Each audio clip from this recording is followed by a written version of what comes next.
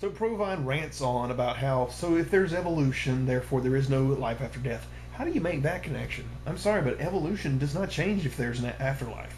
Um, I don't think there is an afterlife, but that has nothing to do with evolution. It has to do with neurology. Um, but uh, you know that's a different different subject. And then with no life after death, so there's no meaning to life. I find plenty of meaning to my life and uh, and most atheists, uh, I would say, feel the exact same way. So just because this idiot can't seem to grasp the world around him in the in the natural order of things and be happy with it, it's supposed to change something. I don't, you know, the, the atheists that I know are some of the happiest and uh, most enjoyable people that I hang around with. They uh, they like to have fun. They live life to the fullest. It's a about life because you only get one shot. You're not worried about the afterlife. You're not worried about, well, you know, it's, it's okay that my life sucks right now because I'll be repaid in, in the afterlife. No, make it good now because you're not going to get a second shot. Life means more, not less. There's the last one. We then find out that Provine had a uh, brain tumor, um, was able to be treated, but it was coming back but not before we found out that uh, he wanted to kill himself, not go down in a slow, painful death like his brother had. Um, I wouldn't either. They're, they make this out like it's a bad thing. Uh, Stein says, "I hope that those were empty words." Um, no, I would side with him. I don't want to have a long, slow, painful death either. It's not a bad idea. Euthanasia is not something scary. Got a video on that too if you want to check it out. Um, so then uh, Stein tells us that he found out that uh, that in fact there were other people with stories just like his. And we see P.Z. Myers, Richard Dawkins talking about how science uh, kind of guided them into the, the path to uh, let go of their religion. None of them are in the despairing case that uh, that this guy Provine's doing. None of them are are so upset that there's no free will because evolution happened. Because that's ridiculous um, you know, again, it doesn't end the meaning of life; it just changes it a little bit. Um, but uh, but yeah, most evolutionary biologists are atheists, so yeah, that's there. But is that what you're scared of? People becoming atheists? Again, I thought it wasn't about religion. Why are we talking about it so much? So, with about 34 minutes left in the movie, we're about to wrap up. not because I'm going to skip the rest of the movie, just there's not going to be much else to talk about.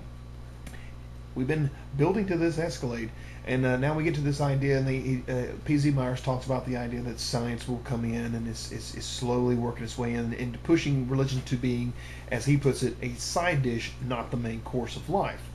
Um, once upon a time, it was not only the main dish, but the side dish and the dessert. And uh, now we're getting to a point that life is progressing because we are removing religious aspects. We're, we're stopping this idea that everything is the devil, as uh, you would, uh, the Water Boy's mother would have told us. You know, Bobby Boucher uh, wanted to get an education as well, but uh, you know, everything was the devil and uh, and so you know would this lead to a modern utopia if atheism became prominent and the majority? You can only imagine where it was going. It was coming. We knew it would. So now we get to sit through 30 minutes of well look at what history tells us uh, the eradication of religion leads to. Wrong. The eradication of religion does not lead to what happened with uh, Stalin or with what happened with Hitler. He was Catholic. Um, what we uh, what we find is that these guys had their own idea of what they wanted, and they, they delivered it in a totalitarian, uh, totalitarian style fashion. With what Myers was talking about is that religion would just work its way out. No one forcing it out. No one forcing you to believe any certain way.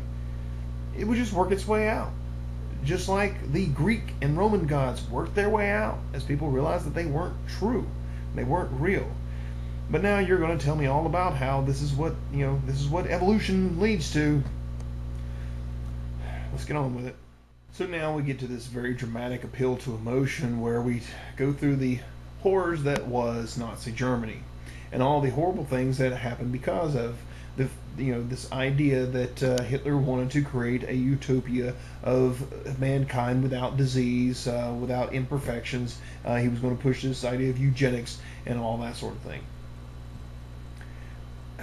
I really don't see a point in going through much more of this because the whole thing is really, really dumb let's just say you're right. Okay? This is how we find out if an argument is really worth going into any further. Let's just say you're right, and that Darwin uh, taught uh, Hitler to do this.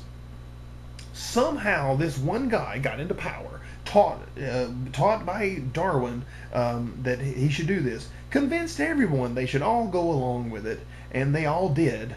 And uh, this is what happened this one time.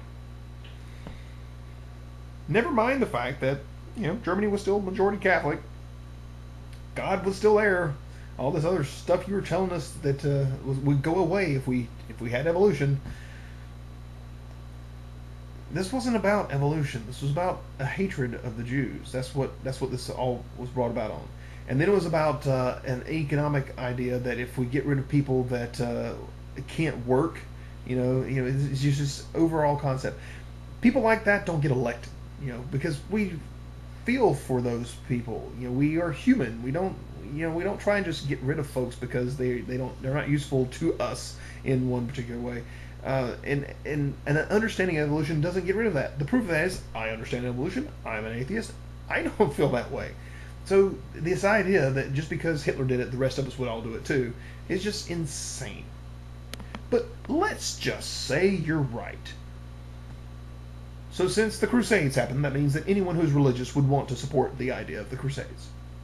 Because the Inquisition happened, anyone who's religious would want to do that as well. All the genocides, all the wars, all the absolutely horrible things that happen because of religion, if you're religious, then that's what it's going to lead to. If we're going to let history be our guide, as Ben Stein says we should do, what does that say for religion? And as if bastardizing the Nazi movement to meaning that it was all based on uh, evolution uh, wasn't enough, now we get to eugenics uh, in a more purist standpoint and how it was going to go through, and they bastardized that into meaning that Planned Parenthood was just another form of eugenics. Give me a freaking break. Birth control for the po- impoverished was had nothing to do with eugenics. It had to do with them not going into further poverty. It had to do with it, another child, uh, you know, wanting to be fed, which costs more money, would create an even deeper hardship for this family. And so, creating birth control so that we're not bringing extra babies into the world is probably a good thing. Infant mortality rates is that a good thing or not? You know, do, do we want those to be high? Do we want them to be low? Which which way do you side on that? You know, what about uh, you know the, this this idea that uh, a child would suffer and end up in the system and create uh, you know, extra crime because it has no other op- option because it can't figure out any other way to feed itself other than to steal from you. Probably not a bad idea to create a little birth control so that they're not just overpopulating. Um, you know, because we're going to have sex. That's not going to change. Oh, or are you against sex now too? Planned Parenthood was about that. Planning Parenthood. Birth control. Good thing. Fine actually admits that Darwinism doesn't automatically lead to Nazism. But if it did it in the past, could it lead to something today? I wonder what else we can apply that to.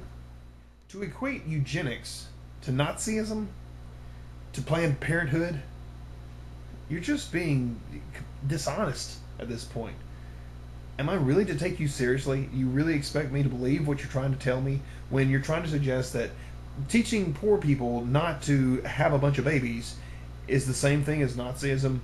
I'm, I'm supposed to buy anything else you say as being legitimate? Come on now. And so now we're going to throw in euthanasia and abortion into the issue because hey, if evolution is all about life and death, you, who cares if you kill grandma? This is just one ridiculous logical fallacy after another. I'm so glad we're almost to the end. Don't take my word for it. Think for yourselves.